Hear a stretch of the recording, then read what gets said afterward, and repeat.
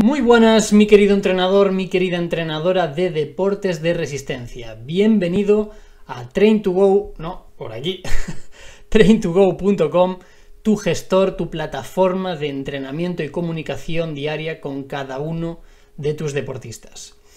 Vale, hoy te traigo otra entrevista para mí súper especial. Todas lo son, cada una tiene su punto, pero hoy te traigo a Manuel Sansegundo, aka Ultramanu como se hace llamar en las redes sociales.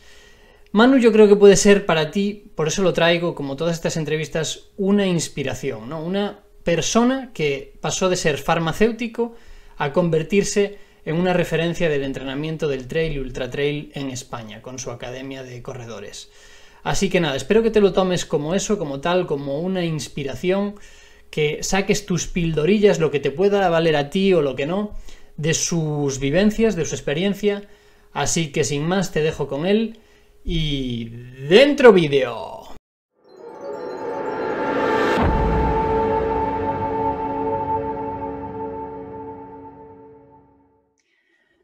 Muy buenas, mis queridos entrenadores, entrenadoras de train2go.com. Dios, qué feliz estoy hoy aquí haciendo estas entrevistas, me encantan.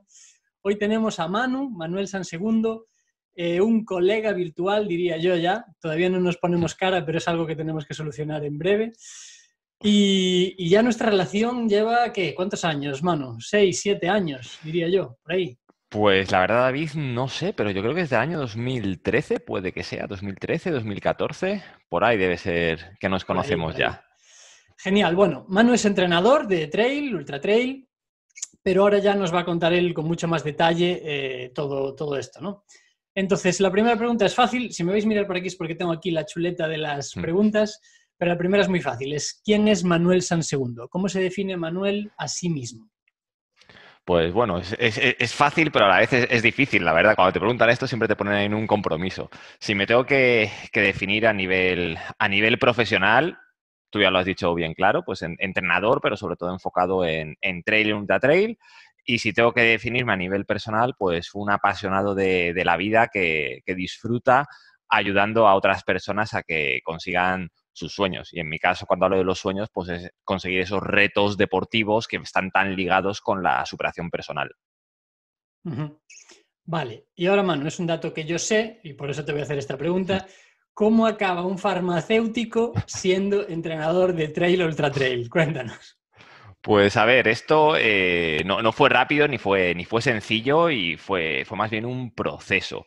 Yo terminé los estudios como farmacéutico en el año 2011 y me di cuenta, pues al acabar, que eso no era para mí.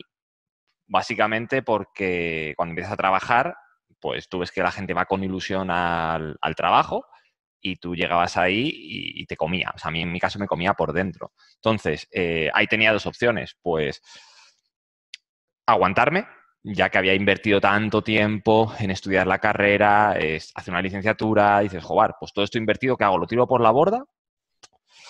¿O realmente apuesto y voy a lo que me gusta? Entonces, en ese momento tampoco tenía muy claro qué era lo que, lo que me encantaba, pero yo hacía deportes de resistencia, pues hacía, natación, corría, bueno, hacía, hacía, deporte. Y empecé a auto, autoentrenarme con las cosas que, bueno, más o menos iba, iba conociendo porque era muy friki del tema entrenamiento y pues me formaba en todo lo que podía y más. ¿Qué pasa? Que como soy muy friki, las formaciones fueron yendo cada vez más. O sea, ya ibas a la universidad a especializarte, eh, ya ibas a, mm, a federaciones, a centros deportivos. Bueno, siempre me estaba formando. ¿Y qué pasa? Que al final esta formación yo la utilizaba para hacer mis propios retos deportivos. Pero claro, como tenía un blog, en aquel entonces había personas que me contactaban para, oye, Manu, tío, échame un cable con los entrenamientos. Y yo pues lo, lo hacía. Hasta que llegó un momento que un, que un amigo me dijo, oye, Manu, tío, mm, ¿te pago o no me entrenas? Y dije, ¿cómo? ¿Sabes? En plan, lo que es mi hobby me divierte, mm, me vas a pagar. Y fue como, ¡puc! o sea, un punto de inflexión que... cambio de chip. Claro, dices, jobar. Entonces, claro, a todas las personas ahí que yo estaba entrenando en aquel momento, pues decidí, a ver, si uno, o sea, una de dos, no me paga nadie o, me pagan todos porque no sería justo. Entonces, al final, pues decidí, oye, pues mira, ahí estoy encontrando mi camino de lograr algo que me guste. Entonces, al final, empecé pues a aplicar todo lo que había aprendido eh, pues, en, la universidad, en, los, en las formaciones, en experiencia que tenía ya con deportistas, pero que entrenaba de forma gratuita, pues ya para profesionalizarlo. Y fue ahí en ese, en ese momento que, creo que fue en el año 2013, 2014 aproximadamente, cuando la primera persona me, pagó y dijo, aquí empieza tu, profesión ya eh, como, como, entrenador. Y ahí es cuando empecé a cambiar. Luego ya eh, estuve compaginando mi labor como entrenador con mi labor como farmacéutico durante, durante hasta el año 2018, hasta inicios de 2018, porque las facturas hay que pagarlas. Entonces, había que pagar las facturas y hasta el 2018 pues, 2018, pues no pude realmente dedicarme 100% solo al entrenamiento.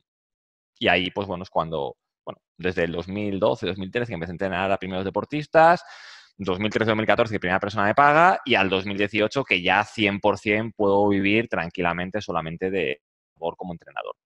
Genial, te lo pregunté porque yo creo que hay muchos entrenadores yo hablo con cientos de entrenadores a lo largo de estos años eh, que llevo con Train to Go y veo que muchos son, están en un caso muy parecido al tuyo. Oye, las facturas hay que pagarlas, tengo otro trabajo, pero mi pasión es esta.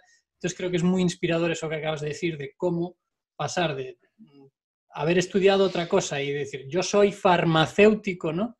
A, oye, he reconducido mi camino a lo que me gusta, lo que tal, y he conseguido vivir de ello. Así que eh, me encanta tu historia, ya lo sabes. Mm. Vale, ¿y cuándo te diste cuenta de que realmente impactabas en la vida de esa gente, de que cruzaban la meta más felices, de que no se lesionaban, bueno, de que hacías bien a la sociedad, digamos? Pues, a ver, realmente yo creo que me di cuenta desde, desde el principio, porque tú ten en cuenta que yo a la gente empezaba a entrenarla en mis ratos libres, en mis vacaciones. O sea, yo venía del, del trabajo y me ponía a trabajar pero para mí no era trabajar, era una, era una ilusión, una ilusión. ¿Por qué? Porque había personas que compartían conmigo, conmigo sus pasiones. Y teníamos siempre esa motivación de, oye, vamos a ir a hacer tal carrera, no sé cuántos, a organizarles que su vida funcionara un poco mejor. Gente que incluso venía del sedentarismo, eh, lograr eh, correr pues, sus primeras carreras populares, llegar incluso a correr maratones. Entonces, claro, cuando tú has cogido a personas que pasaban por una época mala y que a través del deporte han logrado proyectarse, algo positivo y han mejorado en todos los ámbitos, personal, profesional, al final, eh, eso me pasó a mí desde el principio, porque yo al final, como no hacía esto por dinero, básicamente entrenaba con gente que, a mí me apetecía, gente que me transmitía a mí cosas que a mí me hacían vibrar. Entonces, si me hacían vibrar era porque había algo importante detrás. Entonces, desde, desde el principio, mm, he, sentido que estoy aportando cosas positivas hacia, hacia las personas porque han contado conmigo para, ayudarles a, ser mejores personas a través del deporte. Vale, veo que tú lo tuviste claro desde el principio, pero también me encuentro que muchas veces no es así, que muchas veces un entrenador duda de, joder, es que, ¿cómo voy yo a ayudar a este tío a hacer esto? ¿Cómo combatirías tú ese síndrome de decir, no sé lo suficiente para aportarle a esta persona? Que yo creo que sí, o sea, el 99% de los entrenadores no les falta capacidad, pero decir, joder, esto lo vale, esto puede cambiarle la vida a esta persona que tengo delante. A ver, realmente puede. Yo creo que tenemos aquí un, problema y que viene de. Pues bueno, puede que sea del mundo en el que vivimos.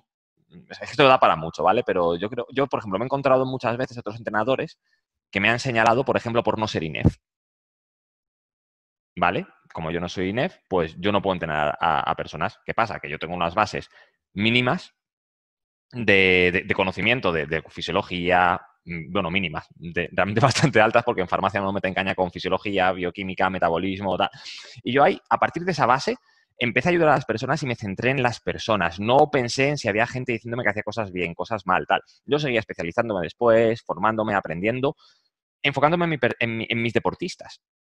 O sea, teniendo el foco, no me dejaba impactar por, lo que decía otras personas. Está claro que te puede afectar o te puedes ver pequeñito en algún momento porque haya alguien que lleva más años que tú y te señale y te diga, tú no eres bueno suficiente, pero al final los que te tienen que decir si tú eres bueno o eres malo son las personas que confían en ti. Entonces, seguramente esos deportistas que tengan algún, algún, algún miedo, alguna limitación, esté más en su cabeza por lo que diga el resto de gentes o en el espejo que se estén mirando que en las personas que realmente confían en ellos. ¿Qué pasa? Que las personas que están siendo entrenadores, pues lo mismo están viendo entrenadores con muchísimo éxito, gente que lleva 20 años en la profesión o gente que está entrenando a deportistas de élite, cuando realmente eh, lo mismo su foco, si casi todos somos entrenadores de deportistas populares porque el mayor número de deportistas son populares, Esas personas lo que quieren es que tú les ayudes con sus retos, que no son pequeños ni grandes, son sus retos. Y para mí todos los retos son grandes, ¿sabes? La persona que quiere levantarse del sofá hasta la persona que quiere hacer una, una, un ultra trail, por ejemplo. Pero al final, si tú escuchas a las personas que han confiado en ti y recibes el feedback, que a veces el feedback siempre es positivo, pero a veces serán para, para, darte la palmadita y a veces para decirte, oye, mejora esto porque quiero que lo pueda hacer mejor. Es lo único que te tiene que importar, lo que tú eres capaz de transmitir a esas personas y lo que eres capaz de ayudarles. Entonces, si te enfocas solamente en eso, al final, yo creo que, que lograrás, para empezar, estar más enriquecido a nivel emocional y por otro lado, que lo que digan otras personas o lo que veas en el exterior, pues bueno, lo puedas recibir para tomar información y, bueno, y contrastar, pero que no te va a limitar a ti como persona, como profesional. Genial, muy inteligente. ¿Qué más tengo por aquí? Em, ¿En qué momento empezaste a ver que el entrenar online era una posibilidad o un complemento o una, una oportunidad real? Pues a ver, realmente también desde el principio del todo. Y te lo. No, mano. Te... Me estás desmontando no, la entrevista. A ver, no es que fuera. No, a ver, no, te digo, eh, hacerlo bien, bien, o sea, poder tener una estructura de, de, negocio montada a nivel online no ha sido desde el principio. Pero eh, yo lo que digo, yo mi trayectoria como entrenador ha pasado de dos maneras, de a distancia uh -huh. a online. Cuando digo online es que tienes un, algo montado a nivel online que, que, funciona y ya es una estructura más empresarial. Pero lo que es eh, mi labor como entrenador, eh, desde el inicio tuvo que ser a distancia.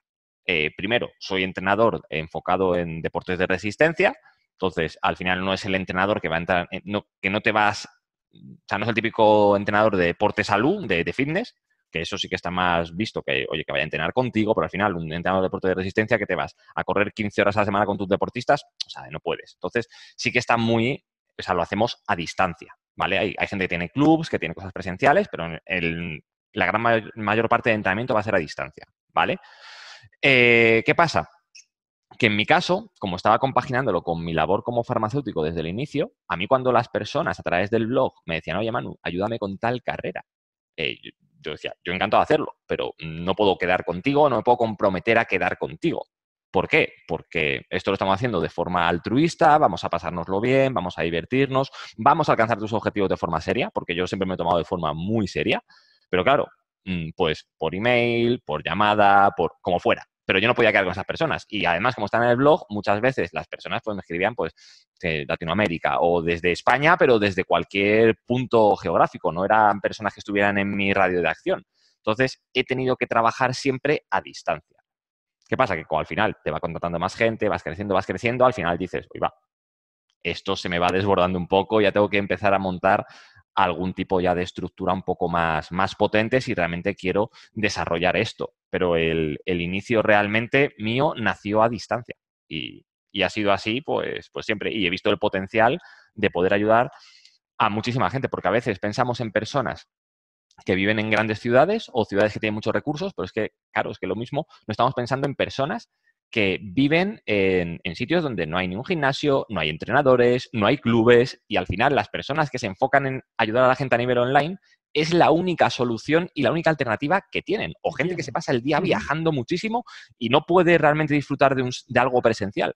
Entonces, a veces eh, entrenadores o la sociedad estigmatiza el entrenamiento online, pero es que a día de hoy es una realidad que le sirve y vale muchísimo a la gran mayoría de personas. Entonces, yo desde el principio pues le vi las bondades, le vi la, lo fantástico que era, no para mí, sino para, para las dos partes. Entonces... Genial, es un punto de vista súper potente que no me había parado a pensar que es una oportunidad para alguien que no tiene acceso en un pueblo pequeño o en lo que sea a, a un tipo de servicio que de otra forma no tendría. Efectivamente. Genial.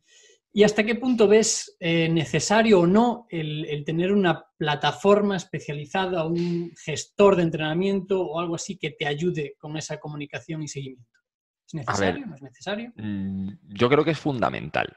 O sea, no es que sea necesario. A ver, si lo tiene, a ver, si tú, por ejemplo, tienes un, un, servicios presenciales y llevas a uno o dos deportistas a distancia, pues, pues no te hace falta, ¿sabes? Porque uno o deportistas a través de un teléfono y un email, suficiente.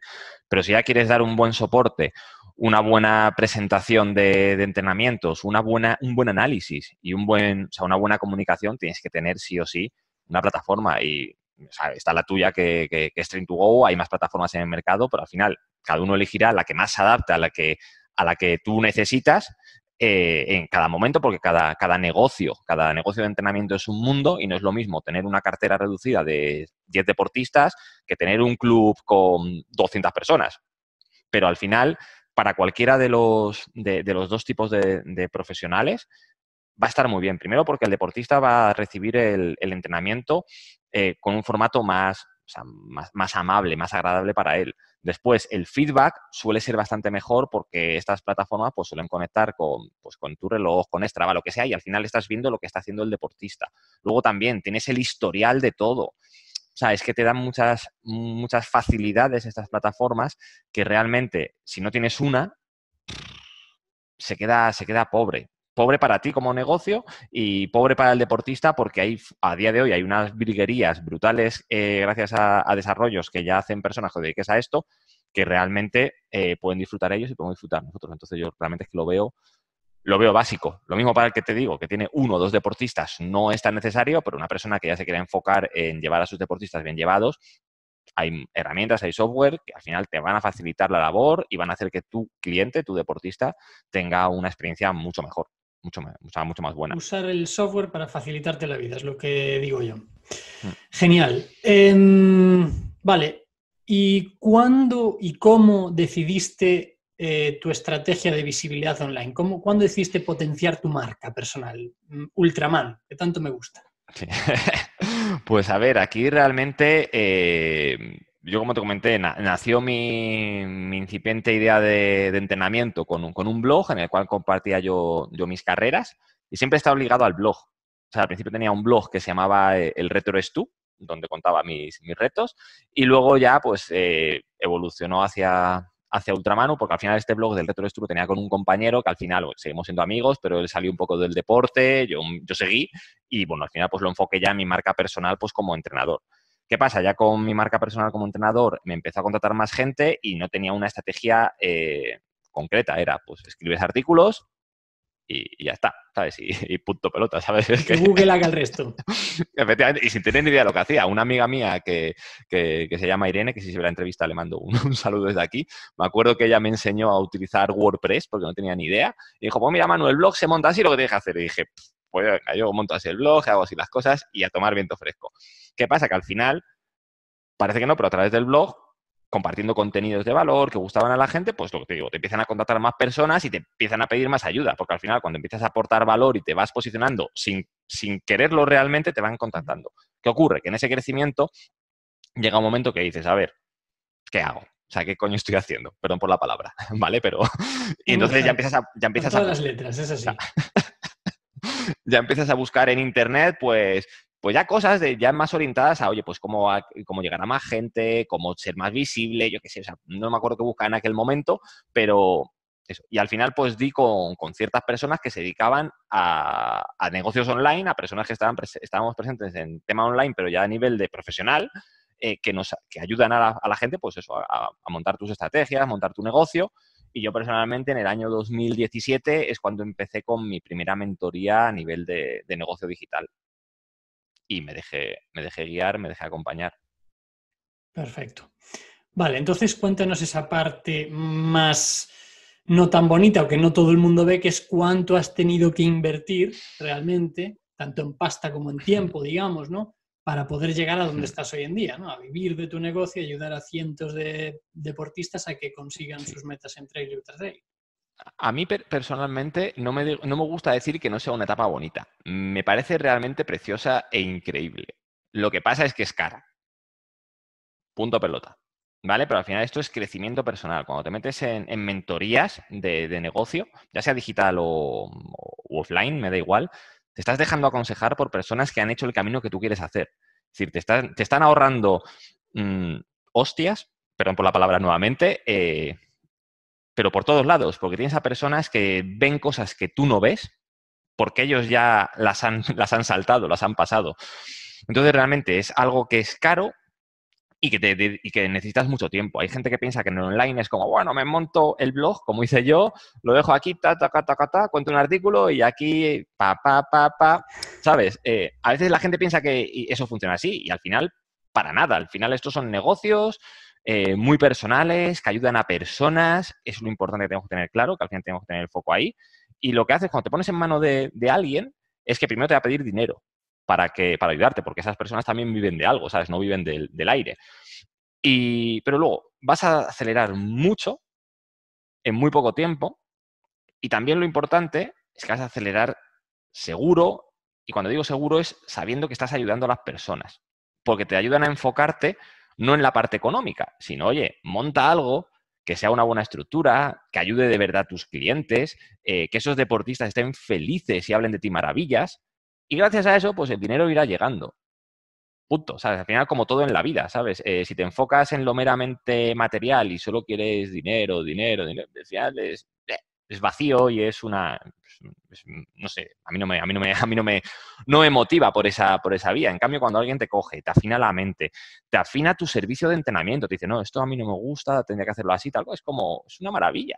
¿Sabes? Es una maravilla que haya personas que se metan en tu negocio, en, en tu cabeza, te den bofetadas a mano abierta, metafóricamente, y te hagan cambiar el mindset, te, hagan cambiar eh, tu visión del entrenamiento, que te ayuden a avanzar, lo que digo, de una forma segura. Entonces, realmente no es que sea una etapa fea, sino que es algo eh, que tienes que, pasar por ello si quieres llegar a, mejorar. Y eso al final va a ser tiempo y va a ser dinero de inversión. Pero al final no es un gasto, son inversiones en tiempo y en dinero para ser mejor profesional, ser mejor persona y gracias a ello conseguir tener unos mejores resultados en, bueno, bueno, no mejores resultados, sino al final mejorarle la vida a las, a las personas que están cerca de ti, que es lo que tú quieres. Has dicho algo muy interesante que es lo del mindset, que luego nos profundizaremos ahí un poco más. Hmm. Vale, entonces, después de todo lo que me has contado, eh, de todos los pasos que has dado desde farmacéutico a mm, emprendedor, entrenador que vive de esto, ¿qué le dirías a un entrenador que está empezando o a tu yo de hace 5, 6, 10 años, incluso al que estuviera estudiando farmacia? ¿Qué le dirías a, ese entrenador para arrancar, para darle algún atajito, alguna píldora? No hay atajos, ya lo sabemos, eh, como el entrenamiento es todo, hay que machacar, machacar, machacar, pero ¿qué le dirías para decirle, oye, mira, esto seguro que te va a dar un empujoncito inicial? Vale, a ver, primero enfocándonos a gente que quiera eh, ir al canal online. ¿vale? Vamos a pensar en eso, esas personas. Si vas al canal online, hiperespecialízate. ¿Vale? Sé específico. Busca resolver una única cosa. O sea, yo al final me he enfocado en el trail, en el ultra trail, porque es mi deporte, es el que yo hago, pero yo puedo entrenar perfectamente a triatletas, ciclistas, duatletas, eh, nadadores. O sea, puedo entrenar a mucha gama de, deportistas. Pero al final, si tú vas a ir a online, eh, Internet tiene unas reglas.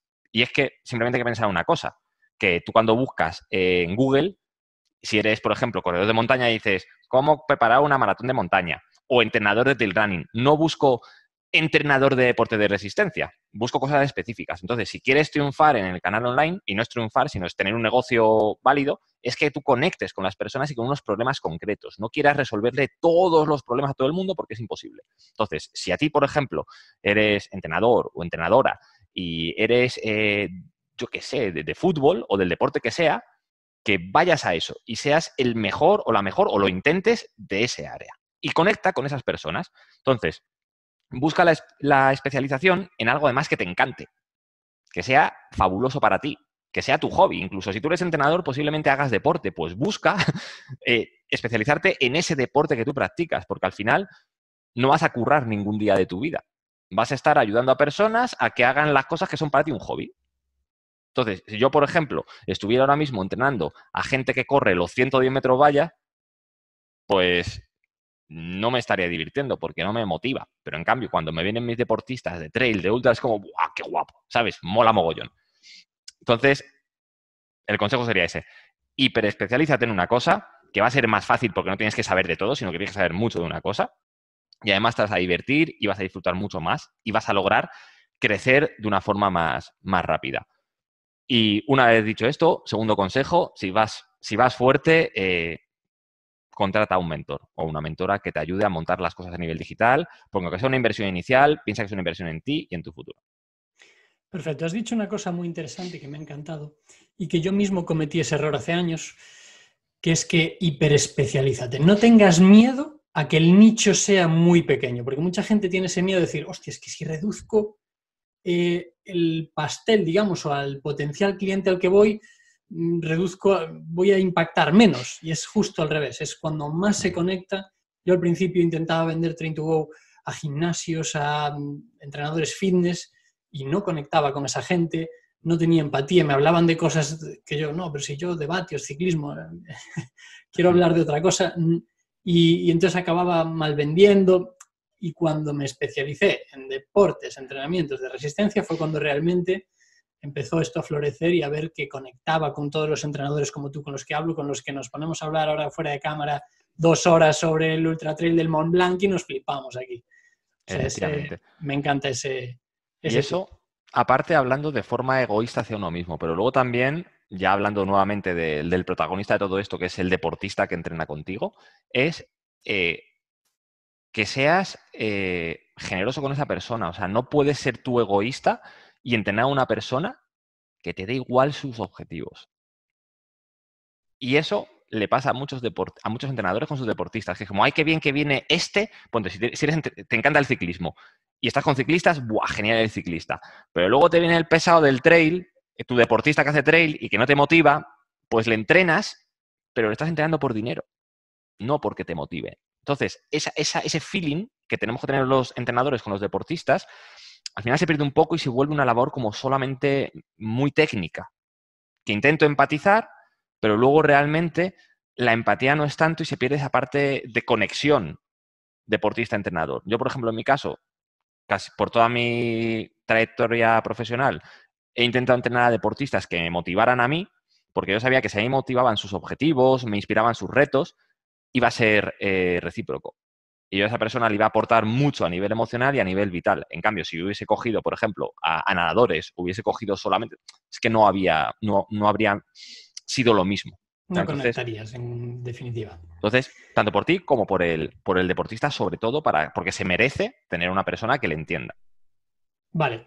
¿Y qué aprendizaje sacas de tu vida como deportista tú mismo, de ser finisher de ultra trails, de machacarte ahí, tal, para ti mismo, para tu propia vida y para luego revertirlo en tus deportistas? A ver, lo, primero de cara a mis deportistas, eh, para entrenar a un, o sea, para ser entrenador de una modalidad no hace falta participar en la modalidad, ¿sabes? No hace falta, pero yo creo que es un plus, es un añadido. Ya por lo que digo, ya no porque vaya a entender mejor eh, si hay que hacer esta serie, si hay que hacer lo otro, tal entrenamiento, que si pasa esto a nivel fisiológico, que eso al final lo va a entender cualquier entrenador, lo va a entender, pero sí la parte emocional con el la emocional real con el deportista, esa conexión que a mí me parece brutal. O sea, a mí lo que más me gusta de la parte de entrenar es esa parte de conexión. O sea, es más que saber cuál es el entrenamiento tal, que tienes que saberlo, evidentemente, sino esa parte de, buah, de, sé lo que te pasa, sé lo que has sufrido, sé, que, sé lo que te va a pasar en la carrera. Es como, ¡buah! ¿sabes? Un chute de, de energía, tanto para el deportista como para, como para ti.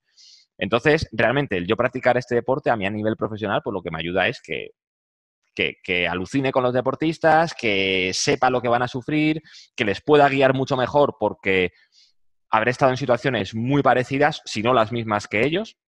Entonces, eso es increíble. Y luego, eh, al final este deporte es de, de ultradistancia y de cara a mí, a nivel personal, pues bueno, te, te da más paciencia, te da más tranquilidad, te ayuda a enfocarte en que las cosas cuestan, que a veces no es cuando tú quieres. Entonces, bueno, la verdad que este deporte eh, te ayuda a, pues, a tomarte la vida con, con más calma, con más perspectiva y sobre todo a saber que realmente las cosas, las cosas cuestan, porque una persona que logra hacer 100 kilómetros, no, o sea, con todo el respeto del mundo, no es como ser finisher de un 10K.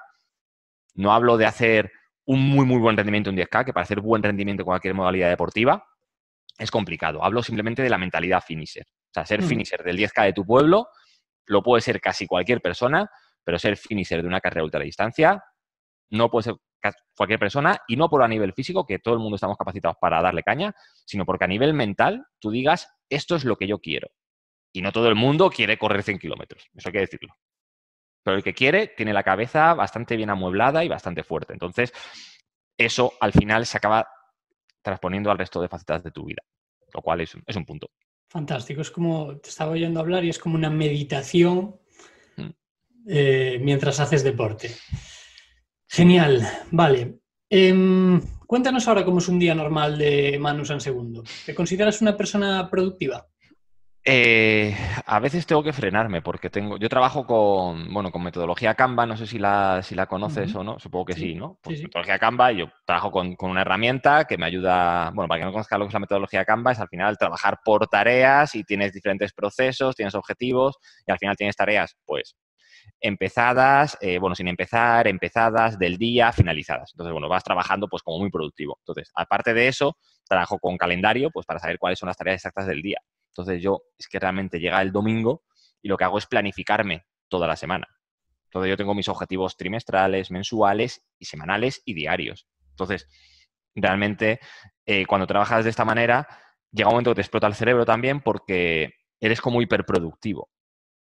Quieres tener todo, todo, todo rellenado. Y al final a veces es un error querer, querer tener todas las horas rellenadas porque al final le estás simplemente haciendo este trabajo de gestionar bien tus horarios, les ganas, le ganas muchas horas al día y al ganarle muchas horas al día curras mucho más y acabas reventado. Porque no pierdes el tiempo. Entonces, realmente, eh, para, o sea, como un tip que, que, a las personas que son entrenadores, entrenadoras, que al final van a ser autónomos, si no tienen otro trabajo, van a ser ellos los gestores de su tiempo. El domingo, organízate la semana, o el viernes o el sábado, el día que tú prefieres de cada siguiente semana, pero empieza a organizarte primero tus comidas desayuno, comida, cena. Bueno, si haces un intermitente, pues no, pero que te, que te organices cuándo vas a comer. Si tienes perros, ¿cuándo vas a pasar a los perros? Si tienes niños, ¿cuándo vas a, vas a pasar a los niños? Después, si eres entrenador, casi seguro que entrenas. Ponte cuándo vas a entrenar en la semana. Y en los huevos que te queden, ponte el curro.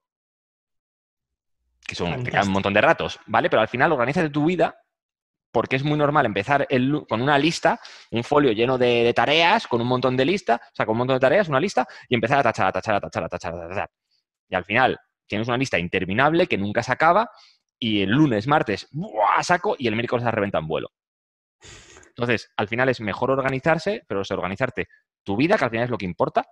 Ponerle inteligencia a todo eso. A ti, a tu familia, a tus amigos. Organizarte bien tu estructura, pues vital, y después organízate el trabajo, que evidentemente tienes que cumplir tus objetivos, darle soporte a tus deportistas, pero organízate bien cuando vas a hacer las cosas. No quieras estar disponible 24-7, eh, 365, solo trabajo, solo trabajo, solo trabajo, porque al final eh, así las cosas no funcionan, pierdes fuerza, pierdes potencia y eso al final tus clientes lo van a notar. y tus clientes se merecen tener una persona inspiradora, motivacional y que está a tope contigo, pero claro, no puedes estar a tope contigo todos los días, a todas las horas, porque, porque nadie puede hacerlo. Entonces, organización, vital. Fantástico. Vale, antes hablabas del mindset, vamos a entrar ahí ahora.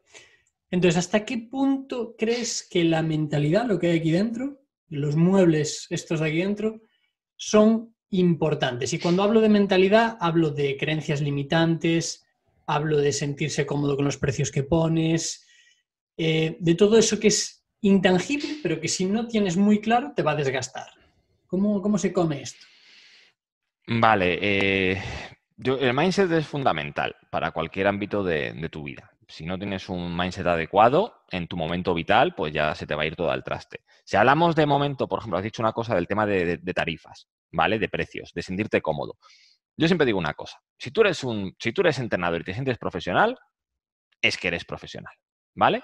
Eso primero. Entonces, un profesional, además de saber mucho de entrenamiento, además de llevar buenos resultados a tus, a tus deportistas, tienes, una, tienes eh, unos deberes con el Estado, ¿vale? que es pagar tu cuota autónomos, es pagar, o, de la SL si ya facturas más dinero, eh, tienes que pagar tus impuestos. Entonces, yo te pongo un ejemplo. Típico, típico entrenador que cobra 50 euros al mes a nivel online a sus deportistas. Venga, quita el 21% de IVA. conozco Venga, quítale, el 21% de IVA. Haz el cálculo. Venga, 40. Luego, eh, también, eh, si tienes que repercutir RPF, venga, también se lo quitamos. Venga. ¿Que lo quieres hacer a nivel online? Perfecto. ¿Que esto es una plataformita online? Mira cuánto te cuesta la plataforma online. ¿Cuánto te cuesta por cada deportista esa plataforma? ¿Cuánto te cuesta por, por tú recibir el dinero de ese deportista? ¿Vale? Eh, mira qué gastos tiene y luego piensa el número de deportistas que tienes que tener, por ejemplo, para ser mileurista. Porque luego también tienes que quitarle el trabajo de, o sea, la, cuota de, autónomos, aquí dale todo.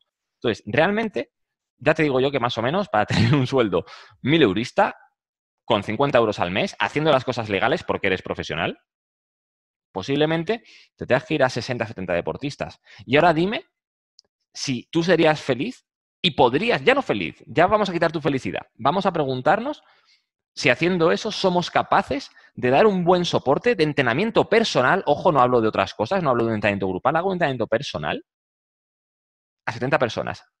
¿Somos capaces? O sea, yo no. O sea, yo, yo te puedo asegurar que no, exploto. O sea, yo al final mi cartera de deportistas personales la reduje a eso, a 5 o 10 deportistas máximo porque al final no puedes hacer todo lo que tienes que hacer como entrenador si tienes a 70 deportistas, 60 deportistas. Si tienes un club, tienes otras cosas, ya sí, pero estás, es otra cosa.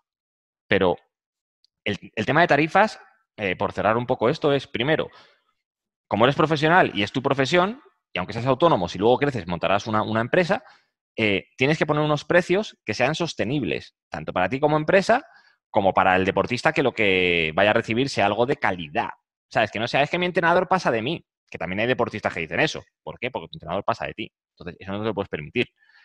Y después de eso, una vez que tú sepas los números mínimos que tienes para no morir y para tener un estilo de vida normal, pone ya la tarifa ya a nivel de marca. Si una, yo conozco entrenadores que es que le pagan muchísimo dinero al mes. Cuando digo muchísimo dinero al mes, es más de mil euros. Que cobran eso por sus entrenamientos. Porque ya le está metiendo marca. No porque si no, no sea rentable. Pero es que al final, eh, si quieres que algo sea rentable, tienes que hacer los cálculos. Y sé que a veces nos cuesta decirle a un deportista, pues mira, es que mi servicio vale 200 euros al mes. Porque, ¿qué van a decir? Es como, joder, pues ¿qué, van a decir? ¿Qué te va a decir tu pareja en casa si le dices, pues mira, no, cariño, es que este, este mes tampoco se come en casa? Claro, y que hay que cambiar ahí dentro ¿Sabes? para poder llegar a ese punto. Pues al final eh, hay que pensar que, que sí, este sector puede estar un poco castigado en algunos aspectos, pero al final tienes que pensar que tú quieres ayudar a las personas. Y para ayudar a las personas, lo, he dicho, tienes que ser, tienes que tener un trabajo sostenible, tienes que ser profesional, tienes que, pensar en ti, que tienes que estar eh, eh, legal. O sea, tienes que cumplir con el estado en el que estés, porque al final, te guste o no esta sociedad, es la que hay. Y el país funciona de una manera. Y a cualquier otro país te va a tocar pagar otros impuestos o lo que sea. Entonces, tienes que pensar que tú tienes que estar dentro del sistema. ¿Por qué lo que estás haciendo? Porque solamente estás viviendo el sistema. Entonces, tienes que estar legal. ¿Sabes? Porque encima a nivel online te llega una inspección y hasta luego. Entonces, es que ya simplemente, ya no nivel de mindset, sino simplemente una dosis de realidad, de siéntate con un Excel y haz las cosas, y a partir de ahí podemos hablar del mindset, de, oye, joder, es que no sé si ponerle 120 o 300. Bueno, pues ahí ya tendremos que ver cómo te sientes tú de, de cómodo, de cómoda, pero es que tienes que partir de unos mínimos. Y para eso ya no es mindset, es un poco de conciencia, de ser conscientes de que, entre manos lo que tienes es tu profesión. Y no puedes, con todo el cariño y respeto del mundo, no puedes ser un pirata. Tienes que hacer las cosas bien, por ti, por tus clientes. Entonces, eso es lo primero, una dosis de realidad. Y una vez con la dosis de realidad, piensa que habrás estudiado una carrera o habrás hecho muchos cursos en federaciones, que estarás eh, trabajando para que otras personas cumplan sus sueños. Que nos guste o no, un entrenador es un artículo de lujo, por decirlo así, es un servicio de lujo. O sea, es así, porque al final estás contratando una persona para que te gestione el hobby. En la gran mayoría de los casos, no hablo de la élite, evidentemente, pero a mí, todos mis deportistas que son populares, al final lo que haces es gestionarle el hobby. Encantado de la vida y me encanta. Y me encanta hacerlo. O sea, y me encanta, te lo digo verdad. Pero la realidad es que al final un entrenador personal es algo de lujo es un lujo. Y al final, si tú estás tirando las tarifas muy por, por los suelos, por el hecho de no, te tengo que ayudar, no sé cuántos, yo creo que haces daño al deportista, estás porque al final acabarás pasando un poco de él, haces daño a tus compañeros de profesión porque estás machacando el mercado, eh, luego a ti un flaco favor a tu yo futuro cuando veas que no tienes nada, porque tú habrás ganado dinero pero no tienes nada en el fondo, porque ha sido una, una actividad sumergida. Es que es Sé que rechina, sé que rechina, pero es que eh, esa primera parte hay que pasar por ahí, que es cuando te digo que te dan dos bofetadas a, dos manos y dicen, tío, ¿qué haces con tu vida? ¿Eres profesional o qué eres? Y hablo profesional ya a nivel, de, a nivel empresarial, que ya entiendo que a nivel técnico, a nivel deportivo, son muy profesionales las personas que estén viendo la entrevista, pero la otra parte es que hay que tenerla en cuenta. Y si no te gusta eh, ser empresario, si no te gusta ser autónomo y, tener esta responsabilidad, vete a trabajar por cuenta ajena. Que habrá personas pagando los impuestos, poniendo una nómina y haciendo las cosas bien. Si tú no quieres hacerlas bien, nadie te obliga. ¿Vale? Pero hay que pasar sobre todo por eso. Y al final, eso es un proceso de aprendizaje y el mejor trabajo que pueden hacer, por ejemplo, yo tengo amigos, no voy a decir nombres, pero bueno, compañeros del sector que han hablado conmigo, yo les, he dado un par de consejos a nivel de, de tarifas y todo esto. Y decir, claro, ojo, es que esto, gente que tenía las tarifas por los suelos y de repente al día siguiente salir con precios cuatro veces más caro, cuatro veces más caro, y vender exactamente igual. Y vender exactamente igual sus servicios. Y encima con gente que luego me han dicho, joder, claro, que encima me están valorando mucho más. Claro, si una persona te paga 4X eh, por tus servicios en vez de X, es una persona que te ha tomado mucho más en serio, que está mucho más motivada, que dice, joder, ya que hago esta inversión, pues vamos a ir a tope. Entonces... Te iba a preguntar justo eso ahora mismo, si eh, viendo que además pagando más se obtienen mejores resultados porque la persona que lo paga se implica mucho más. Efectivamente, si es que eso es que eso es así. Al final cuando es que funciona así. Cuando tú tienes algo que es muy barato, por ejemplo, un gimnasio low cost, muy low cost, pues no voy, porque como está ahí pagado, es que me sale más caro no apuntarme. ¿Sabes? Lo pago. Entonces, a mí me ha pasado cuando yo tenía tarifas muy bajas, en algunos casos, era como un, era como un gimnasio, un gimnasio low cost al cual la gente no iba. Pero claro, cuando tú ves tu planificación en rojo dices, que esto lo he hecho yo, con todo el cariño del mundo, te estoy intentando motivar y no hay nada. En cambio, cuando una persona se ha dejado 200, 300 euros, ha invertido en él, no en ti, en él, en sus objetivos, en su felicidad, en su rendimiento, la plataforma de entrenamiento está en verde. Y la motivación y las ganas y el agradecimiento de esa persona es máximo, es absoluto. Y eso es así. Genial. Vale. Y hasta ahora hemos hablado un poco de, de todo lo bueno, también nos hemos metido en algunas cosillas malas, pero cuéntanos algún fracaso de Manu, algo de lo que digas que, cuidado, a mí no me gusta llamarlo fracaso, mm, a ti sé que tampoco es aprendizaje, pero cuéntanos algún aprendizaje de esos para, los que nos escuchan. Pues a mí, por ejemplo, el, aprendizaje fue en este momento del, tema de, de, bueno, estás creciendo como entrenador, empiezas con tarifas muy bajas, eh, quieres poner tarifas un poquito más altas, eh, pero en el fondo, yo, por ejemplo, en mi caso, el, no el mayor fracaso, sino cuando un deportista eh, te ha tenido que poner los puntos sobre las IES. Ojo, no a nivel de entrenamiento, porque, porque a nivel de entrenamiento, pues, pues, pues, la verdad es que ninguno me ha dicho, no me ha dicho absolutamente nada, están contentos. Pero sí me acuerdo un, un, deportista que entrenaba para ultras, ya una persona más, no, no, no, no, mayor, pero sí ya más cerca de los 45 o 50, o sea, una persona ya, o no, un chaval de 20, Encima él, él sí que él era empresario. Él, bueno, y sigue siéndolo. Y, yo pues tenía típica cartera de, productos, servicios, que te limito cosas tal cual, eh, y él pedía cosas. Y al final eh, me, dio una charla que me dijo que básicamente que las cosas que estaba ofreciendo, que me lo planteara muy bien, porque había cosas que estaba ofreciendo que era una mierda. No dicho así, pero era como... Te quedas con la cara de, hostias, él estaba en un servicio más. él quería, quería mucho, mucho de mí, quería que yo hiciera muchas cosas. Su estrategia quería un entrenador que me volcara. Pero claro, tú dices, joder, es que por una mierda de precio, ¿qué coño me iba a volcar? Pues él que me dijo, el deportista, me dijo, pues tío, Manu, es que tú no puedes permitirte eso. Cobra lo que te que cobrar y hazlo. Y claro, eh, a mí eso para mí fue un ostión a mano abierta, porque claro, dices, ya te empiezas a plantear de, joder, y lo que he hecho yo estos años, lo mismo la he estado cagando con deporte, ¿sabes? En plan, ya a nivel de, plantearte de, ¿qué he hecho yo con mis deportistas? ¿Lo estaba haciendo bien? ¿Lo estaba haciendo mal? O sea, que luego sabes que no lo has hecho mal, pero que una persona venga y te diga, tío, tienes que poder ofrecer esto a las personas. Y si el problema es que tiene que ser más caro, bueno, más caro. Entrará menos gente, ya está, ¿sabes? Pero tú tienes que dar la oportunidad al deportista que él elija. Sí, bueno, eso para ti fue relevante. Entonces, a mí eso fue, o sea, cuando un deportista se mete en tu, en tu servicio y te explica cosas como, o sea, te quedas como ya, pues eso, pensando hacia atrás de, de, verlo todo en perspectiva y decir, joder, pues está claro que siempre va a ser mejora continua, pero cuando una persona, un cliente tuyo, te hace una crítica, en ese caso constructiva, No en plan de, bueno, pues podrías ponerme menú o lo que. Ya no cosas así, no, ya una cosa ya de, estructura. Te quedas. O sea, yo ahí me quedé, me acuerdo, me quedé varios días. Eh, removido. Removido de qué narices, qué narices he. O sea, o sea, que luego sales de ahí, lo mejoras todo, evidentemente, eh, haces caso, escuchas el eso fue el impulso para luego mejorar tus servicios al final. Efectivamente. Fantástico. Vale, Manu, pues eh, me está encantando, mm. pero vamos a ponerle fin eh, a la entrevista y cuéntanos en qué estás metido ahora mismo, qué proyectos tienes entre manos, que sé que tienes ahí algo gordo y bonito. Sí, pues a ver, dentro de, la parte de, entrenador, al final hemos hablado sobre todo de la parte del servicio, de un servicio de entrenamiento potente que realmente puedas acompañar al deportista. Y eso, lo que he comentado, que tarifas no puedes tirarlas por el suelo por los motivos que hemos comentado. Pero luego yo entiendo que todos los entrenadores queremos llevar nuestra palabra, queremos llevar nuestra forma de hacer las cosas a muchísima gente. O sea, cuanto más mejor. Si es que al final lo que, lo que nos ocurre es que queremos llegar a muchísimas personas.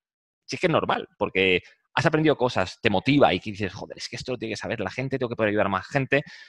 ¿Y qué pasa? Que aquí hay que darle vueltas al. Hay que darle vueltas. No, vas, no, vale con, no vale con decir, venga, pues tiro los precios y a explotar. No, eso no, no vale. Tienes que crear otras cosas.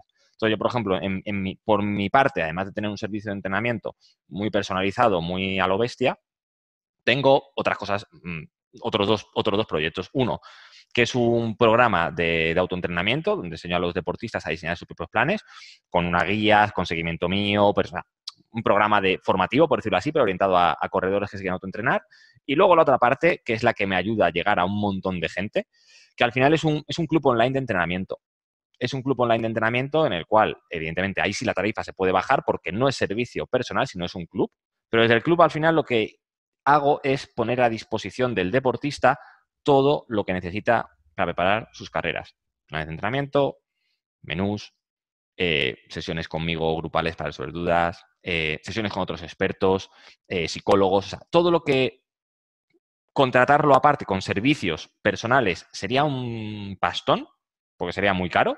Al final, por muy bajo precio, casi todo el mundo, o sea, todo el mundo que quiera puede permitirse. O sea, no es un precio elevado lo que, lo que cuesta entrar ahí. Entonces, al final es a bajo precio, pueden entrar eh, a, obtener todo. Entonces, claro, ahí el objetivo ahora mismo, por ejemplo, dentro del club han pasado ya 600, unas 600 personas, ahora mismo activas hay unas 250 personas o, o más, por ahí, aproximadamente 250 activas. Entonces, claro, eso es eso es la leche, o sea, poder llegar a tanta gente, pero claro, eso, esto hay que montarlo, hay que montar la infraestructura, ahora tú me vas, me vas a ayudar, así que también está, está guay, porque al final este club pues tenía un tipo de contenidos, pero ahora pues gracias también a, ti, pues bueno, vamos a, montar una, herramienta pues de también... O sea, básicamente estás buscando la solución para con tus conocimientos poder impactar a muchísima más, gente, Efectivamente. Y, y, hacer eso que tanto me gusta decir que es erradicar el sedentarismo del mundo, ¿no? Efectivamente, efectivamente, al final es, es, el objetivo. Entonces, de esta manera, pues estamos ayudando a muchísimas más personas, llegando mucho más lejos. Y, es lo importante que, bueno, que sepamos como entrenadores, pues tener esa cartera de servicios y productos y adaptarnos a las necesidades en función de, qué tipo de perfil, qué tipo de cosas necesita el corredor y, y ya está. O al final no, no, es nada de magia, es escuchar a los deportistas, saber qué es lo que quieren y, ver que hay opciones de llegar a muchísima gente, pues gracias a unas herramientas digitales bien desarrolladas, a saber lo que estás haciendo y entender lo que te está pidiendo tu público. O sea, no lo hagas así porque tú pienses algo, no, tú escucha a tus clientes y en base a eso vas creciendo y creando cosas eh, pues para ellos, para tu público, para la gente que quiere entrenar contigo. Genial, Manu. Pues yo creo que ha sido una entrevista fantástica. Yo me lo paso, como siempre, de puta madre hablando contigo, ya lo sabes. Y creo que es una entrevista inspiradora para el resto de la comunidad treintugonera que te esté escuchando, que no todos están eh, ni tan bien ni tan mal, pero bueno, que es un camino que hay que recorrer y que no es fácil, pero con motivación, como el entrenamiento. Al final es lo que yo digo, es que es el mismo entrenamiento que prescribes para tus propios deportistas, pues con tu negocio de entrenamiento online es lo mismo. Entonces, eh, es un poco el resumen. Así que, nada, Manu, eh, un millón de gracias por estar aquí con nosotros, con la comunidad Trointubonera y espero que nos volvamos a ver en otra ocasión, ¿vale? Pues muchas gracias a ti por invitarme y un placer haber compartido este rato contigo y con toda la, con toda la comunidad. Perfecto, gracias Manu. Chao, chao. A ti, chao, chao.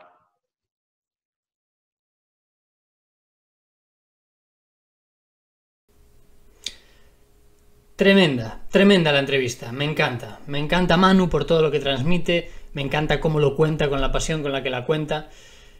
¿Y mm, qué podría decirte yo de esta entrevista? Me la he tenido que poner dos veces para poder sacarte todas esas claves y resumírtelas y ponerlas ahí sobreimpresionadas, porque han sido tantas y tan buenas que no sabría con cuál quedarme. Nos ha dicho que tenemos que utilizar la tecnología adecuada para poder llegar a mucha más gente. Que nos ha dado un máster de cómo poner los precios, ¿vale? De cómo poner los precios para tú estar cómodo, para ser un profesional, para que el deportista esté cómodo, para que el deportista consiga sus resultados, porque ojo, ha dicho una cosa que me encanta, que es que eso no va de ti, no son tus precios, es lo que él está dispuesto a invertir en sí mismo para llegar a donde él quiere o dice que quiere. Entonces eso es muy importante. Bueno, en resumen, nos ha dicho una barbaridad de cosas, pero si te fijas, el denominador común de todo lo que ha dicho Manu es que te centres en la otra persona, en ayudar, en darle valor a esa persona y que cuando cruce la meta sea un deportista o una deportista mucho más feliz. Así que quédate con todas esas claves, a lo mejor algunas no van contigo, otras sí, tú quédate con las que realmente a ti te aporten y te hayan hecho tilín. Yo me quedo, una vez más, con ese impacto que él está haciendo, súper positivo en la humanidad. Hablamos de 200 personas, 400, podrán ser 1000, pero son muchísimas más de las que serían si se dedicase a entrenar como él ha dicho inicialmente. Pues oye, ¿hasta dónde puedo escalar si no monto lo que está montando actualmente? Hasta 50, 60, 70 personas. Ahí te volverías loco. Entonces me encanta Manu porque está muy alineado con ese propósito vital que tantas veces te cuento, que es eh, erradicar ese sedentarismo en el mundo. Porque veo cada vez más a mi alrededor, entre amigos, familiares, que cada vez nos movemos menos, ¿no? Y si vamos a vivir tantos años como parece que vivimos, ¿no? Que cada vez la esperanza de vida es más larga, ochenta y pico, 90 años, eh, no vale ya llegar a los 50 cascado. Entonces, para mí el deporte tiene que ser una forma de vida, algo que te inculquen desde pequeño y tiene que ir contigo como mm, cuidarse, como dormir, como comer. Pues para mí hacer deporte tiene que ser eso. Entonces, si este es mi objetivo y yo te ayudo a ti como entrenador, con mi plataforma, con mis mentorías, a ser un mejor entrenador, a poder llegar a más gente, tú podrás ayudarme directa o indirectamente en mi objetivo vital, que al final es el mismo que el tuyo, que es hacer que las personas estén más saludables, mejor consigo mismo, eh, que alcancen sus objetivos deportivos, que sean más felices. Entonces en ese aspecto me encanta porque estamos súper alineados. Entonces ese es el trato. Yo te ayudo a ti y tú me ayudas a mí a llegar a muchas más personas. ¿Y cómo te puedo ayudar yo? Pues a través de mi plataforma traintogo.com o de las mentorías de entrenadores emprendedores. Así que nada, te dejo por aquí un link de contacto si te apetece que trabajemos juntos y espero que eso, que Manu haya sido una inspiración para ti porque lo es para mí sin duda ninguna y creo que lo puede ser para muchos entrenadores de deportes de resistencia que están o estuvieron en una situación parecida. Así que nos vemos en la próxima entrevista de Entrenadores Emprendedores. Un abrazo, chao chao.